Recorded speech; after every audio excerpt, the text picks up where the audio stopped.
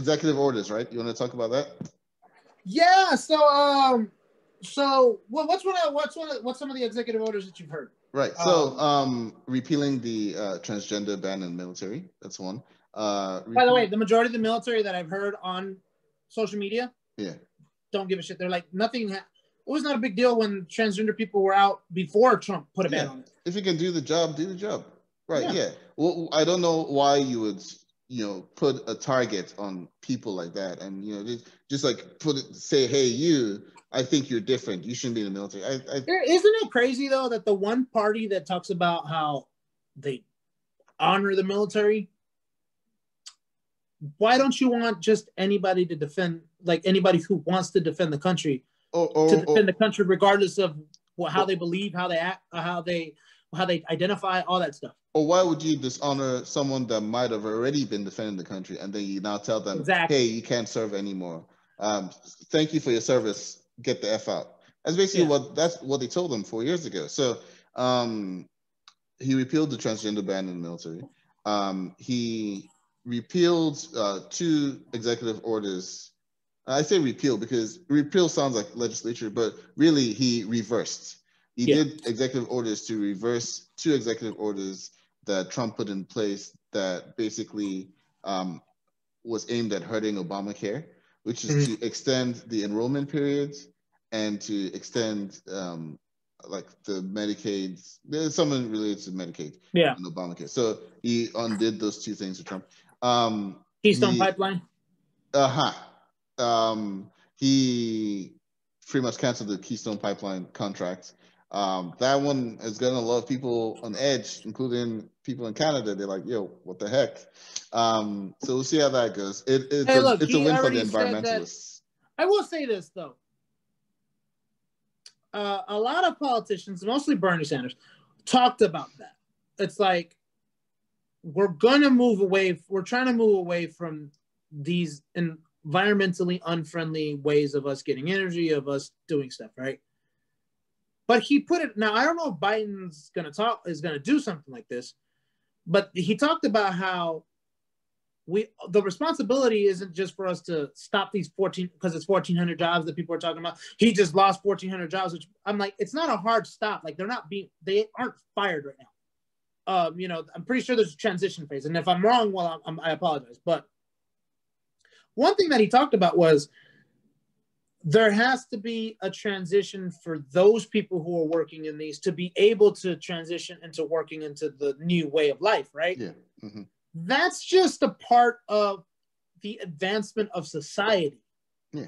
That's the only way that society, our society is going to advance is we move away from these things. But yeah, there's also is a responsibility on, on, on the country to make sure that the people who are in these kind of areas working on these kind of things that they're able to be transitioned into these better the the the better way of doing things, right? Right. So, but my thing is, half of the people now I don't know about Canada because you know Canada probably, maybe they have a legitimate, but half of the people who are trying to use these jobs lost as a as a FUs to Biden. Mm. Honestly, the majority of them do not give a damn about those jobs lost. They don't. They don't. They it's, really it's don't. a political. It, it's a political talking point. That's all it is. Yeah. Uh, John Kerry was talking today about because they were talking about moving to renewable energy and all that stuff uh, with regards to coal mines in West Virginia. Uh, talking about like, I don't know why we are so bent, so hell bent on keeping these jobs, these jobs where we send people into coal mines and they get black lung and yeah. all that stuff, when we can train them up to do these jobs in the renewable energy fields. Because yeah. there are jobs there. Let's and you know these uh, these coal places. These it's the same way like the cigarette companies who were fighting against weed for the longest time. What do they do now? They're buying into weed. Yeah, exactly. So exactly. It's. It, they're gonna do it. So you might as well just yeah. We do have yeah. We have a responsibility, and I say we as a society do have a responsibility to not leave these people behind. Yes. But we also it's we also have to advance. Train them for the job sectors. renewable of, energy. Yeah, train them for the job sectors of today and the future right? Yeah. Don't say, hey, well, the only skill you have is coal mining. Okay, go mine coal. No, we don't need coal. We don't want coal. We oh, want... by the way, F you, we're not giving you health care. for your black. Right, right exactly. That's yes. a pre-existing condition. We'll give you black lung, but we're not gonna give you um, health care, guaranteed healthcare. Right, yeah. you got to make sure that you pay your insurance, your private insurance company. You like them, right? Go pay them. so, um, so yeah, so so the Keystone Pipeline, um, rejoining the Paris, Paris Climate Paris. Accords. Did you hear about Ted Cruz's dumbass? Yeah, saying that um, he cares more about the people of Paris than people of Pittsburgh. It was a, a, rehash of something Trump had said before. Stupid now, stupid then. Yeah, right? and this is like, uh, by the way, bro, Paris Agreement has nothing to do with Paris. It's about that's just where you signed the bill. Yeah, yeah. I think AOC like said the, something like um, the Geneva Convention wasn't about the people of Geneva, or something like that. oh, yeah. what's what's the uh, what's the Accords from Marvel? Uh, the Sokovia Accords. I yeah. can only imagine like one of the villains saying, "Oh, he cares more about Sokovia than he does about New York or something." Right. You know? Yeah, it's so stupid. And but the thing is, and I, maybe I'm just giving him too much credit, but there's no way Ted Cruz doesn't know that it's not about the people of Paris. He doesn't he, have a way of reading the room. He, he just he just feels like his people that he's talking to are too dumb to realize that it's not about the people of Paris. And to them, honestly, I would be offended if I'm a if I'm a Cruz supporter and he's saying that shit to me. Sorry, I didn't mean to say S, but he's saying that to me. Um, I'll be like, dude, do you think I'm dumb? Why why am I supporting you if you think I'm dumb? But this is the thing, though. People are dumb. Ted Cruz supporter, one, why are you that? But two, the Ted Cruz supporters that support him based off of the dumb stuff that he's saying, like this, are the same ones who bought into Trump for sure. the dumb stuff he says. They, it, it, for them, it's not about that. For them, it's just like you know, it's just about being mad. It's yeah. just about being about mad. Being you're on the wrong side of history, so you're just gonna be mad. So anything, any I gotcha kind it, of thing. It's about being mad and owning the libs. Pretty much, yeah. yeah. Speaking of, speaking of owning, because you know Ted Cruz is just so easy to own. Uh, this was this actually just happened recently where um, AOC. Uh, what was she talking about? She was talking about the GameStop thing. About GameStop, thank you. Yeah. And then she was talking about how basically hedge funds people are trying to manipulate. Like there should be something against these hedge fund people basically get mad about doing. No, no, no, no, no. She was talking specifically about GameStop stopping the trades. Like so, when I was talking about how you mean uh, you know Robinhood sorry, sorry, Robinhood stopping the trades of GameStop. Yeah. yeah. Thank you, thank you. That's right. That's right. Where it's like the cap, you know, capitalists are manipulating the system for themselves, right? And then Ted Cruz was like, I agree. And then she was like, No, F you, basically. You yeah. tried to get me killed. I can work with anybody. Yeah. But not you.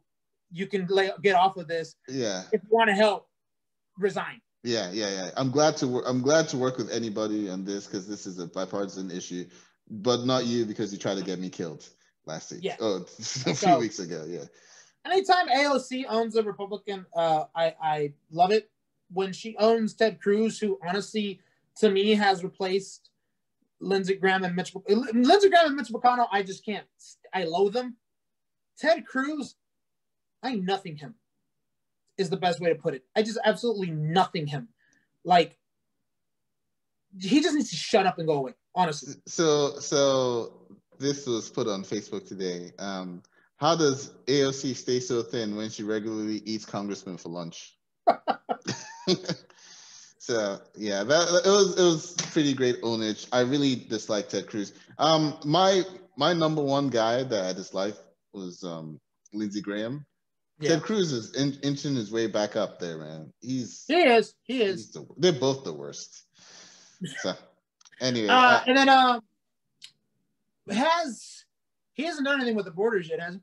No, the he removed the Muslim ban. Um, he has he, he's stopped the child separation thingy, and I think they said that they're putting Jill Biden, Jill Biden. I, whenever I say Joe Biden, it sounds like I'm saying Joe Biden. He's putting mm-hmm. Jill Biden uh, in charge. Dr. Of, Biden he's putting Dr. Jill Biden in charge of the family um, re. What, what's what's the word I'm looking for? Reunion. Reunion. Yeah. The, the man, I'm gonna tell you right now. Um, there is nothing that breaks my heart when I think about it, more than the fact that our government took part in kidnapping, because that's what that was, and basically child trafficking via via adoptions, because that's what that was, right? Yeah. They separated uh, children from their mothers and fathers, and then adopted them. And shame on the people who adopted them too, because you know where these kids were coming from. You're not say you're not a hero because you're like, oh well, this kid. No, this kid has a mom and a dad. If you, you know, you know what I mean. They have yeah. a mom and a dad, so you're no hero.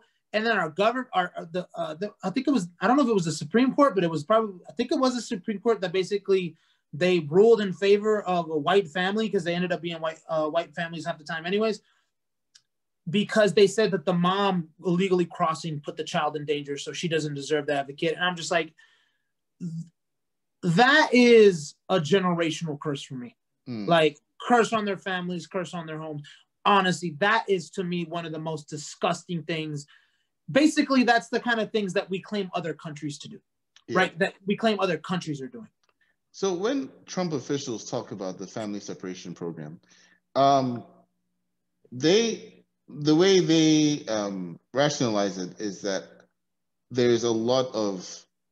It's funny they use the word uh, trafficking that uh, because they say there's a lot of human trafficking that goes on through the border, which um, is probably true. It, but, it, but it's such a minuscule number. Right, right. It's probably true that um, there are children that are trafficked through the border, but basically, the zero tolerance policy that was approved by Jeff Sessions was basically that hey, okay, maybe two percent of these are children that are trafficked. Let's separate hundred percent of them from their families. Yeah, that's where the problem uh, becomes. It's it's a really sad situation, especially when they they went to the um, to the detention centers and they had the cameras with them. It's like Lindsey Graham, it was Pence, it was someone else. And it was supposed to be like a thing where they were trying to project that, hey, we are caring people and yada yada. And they just end up looking really bad. It's like these white guys looking down on these, you know, uh, Hispanics that are locked up in cages, and, and, they didn't even show the one where the where Melania goes to the kids' cages and all that stuff and wearing the jacket. I really don't care, do you? Yeah. Um, and, and it just it just shows it juxtaposed the you know the white the old white guard the elites looking down on people that aren't like them right? Yeah. And i feel so bad saying that because it makes it sound like i'm saying all white people are like that but no i'm saying this these people represented the worst of you know the the shameful part of you know yeah. white america. Yeah, there's there's so much advancement that's gone on in this country, and white people are a big part of that of that advancement because you don't win elections by having only black people, uh, Hispanic people voting for someone. You need white people to vote for that. You need white people to to rally for certain causes. Bernie Sanders is a white person, uh, your, your favorite guy. Um, so obviously there are good people on that, but then you have these you have these bunch. But, you know what? Historically speaking, those are the ones that have been in power. So of course, right. the ones in power who are corrupt, if that's who they normally are, that's just what they are. But it's yeah. not based on that particular class of people. It just happens that the piece of shit people that are there now happen to be that kind of people. Yeah. So you have this bunch that are so afraid of this change, right? Of the country looking a little browner and a little, you know, and and it, it almost feels like they're being phased out. And this is their last gasp of like holding on to any semblance of power. And that's by making these people look like underneath and make yeah. you know so it's just it, it's it's very terrible to see. And I, i'm glad that this administration seems to be pushing more towards a more inclusive you know viewpoint of america. Biden's going to make mistakes. All presidents do. Um, so far i like what he's been doing as far as executive orders I really need him to get the Democratic Senate like in line. I know it's not his job, but oh, maybe send Kamala Harris to do it. Get Joe Manchin in line. Get Kyrsten Sinema in line, and freaking remove this filibuster. Yeah. So, so with Joe, with the uh, real quickly, I just want to talk about um, with Joe Biden. I honestly, the thing with the with the whole border thing, to me, it won't be a good job until those those cages are dismantled. those family. Look, the problem is, even during Obama's presidency, there was a uh, there was separation, right? And somebody tried to comment, somebody tried to excuse it. Hold on, hold on. Somebody tried to excuse it and say, "Oh, but it was only a couple of weeks." All right, I get that it was only a couple of weeks, right? But a couple of weeks for a child is a very long time, yeah. right? It, it's just we do have to correct our immigration issue whether that means and that's actually one thing that I did see that Biden did that I'm like, okay, great. He's actually people were complaining that oh, it's like a 15 year to citizenship. I'm like, but that's the normal amount that it takes to get to citizenship. There's people who are residents for so many years, but it's yeah. expanding on it, allowing more more of them to be able to do it, right? My dad is there, here for There's a lot more that needs to be done with that, and I'm pretty sure he has more plans on the horizon. And I'm really hopeful. I'm more hopeful with him than I was with uh with uh, with with I than I was with Trump. Mm. And if somebody wants to call me a lip for that, feel free. But honestly, I'm more hopeful on that end than I was with Trump because Trump didn't give it didn't give a damn. You know, he really didn't. He didn't give a damn about that. He still don't get what his reasoning behind being basically a human rights violator down at the border. I don't know. Well, I, don't I mean, I but that's that's what got him there. That's his you know original play when he came down the the escalator, the whole otherism thing, like you know, Mexicans, you know, they're rapists, murderers. Oh, some of them are fine people, but they're rapists yeah. and murderers. Yeah, that was the original play. If you don't live up to that, then people will be like, hey, you're not living up to your campaign promises. Yeah. Even though Mexico did not pay for the wall.